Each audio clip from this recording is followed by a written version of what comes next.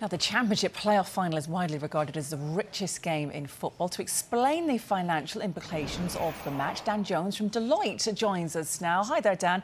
Right, so explain what Morning. it means financially to win the Championship playoff final. So yeah, obviously we've got some big games this weekend, and uh, in terms of glory on the pitch, then obviously the Champions League final is the is the big one, and Forest fans have got great memories, obviously, of European Cup finals in the past, but in financial terms, as a one-off game, the Championship playoff final is the biggest game there is.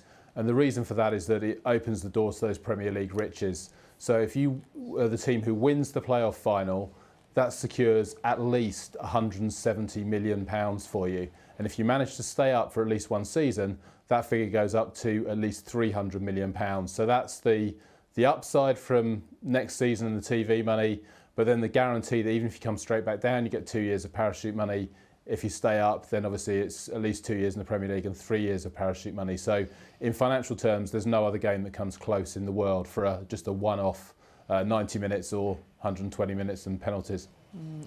Tell us, is it more lucrative to win promotion via the playoffs than automatically?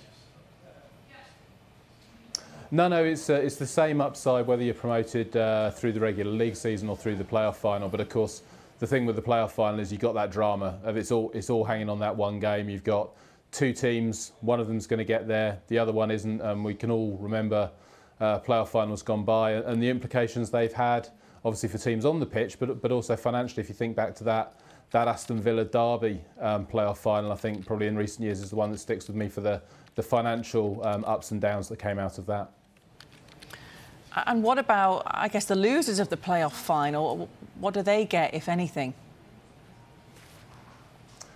Uh, a big disappointment, um, a, a, desire, no doubt, to go again and try and make it uh, the next time around. But uh, but no, I mean it is a, it's a uh, all or nothing game. It's a it's, you know the winners, glory, Premier League, 170 million pounds of extra revenue. The losers, chance to go again and have another go at the Championship next season.